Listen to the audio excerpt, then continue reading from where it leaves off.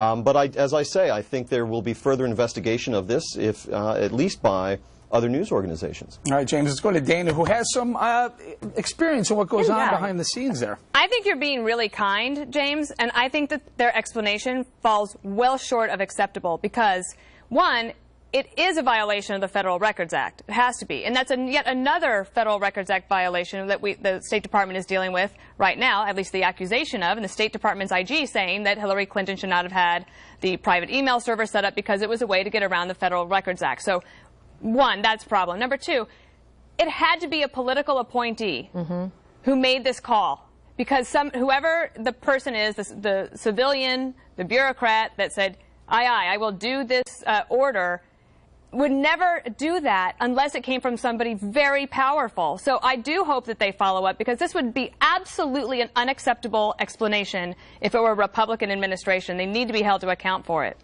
Well, on that point, I've had a number of uh, State Department beat reporters, colleagues of mine, people I know for years, already calling me and emailing me and giving me their suspicions as to exactly who issued that order.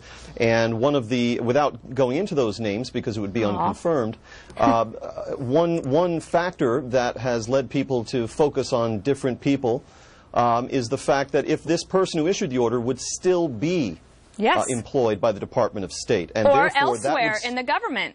Right, I and mean, that this, would serve this as should a- be, they should they, they could figure this out in about five minutes. So when they say that we're not going to look into it, we're going to look forward. That's not. I think that that's unacceptable, and I think that really you could find out in in five minutes if you're Admiral Kirby, find out who it is and come clean with it.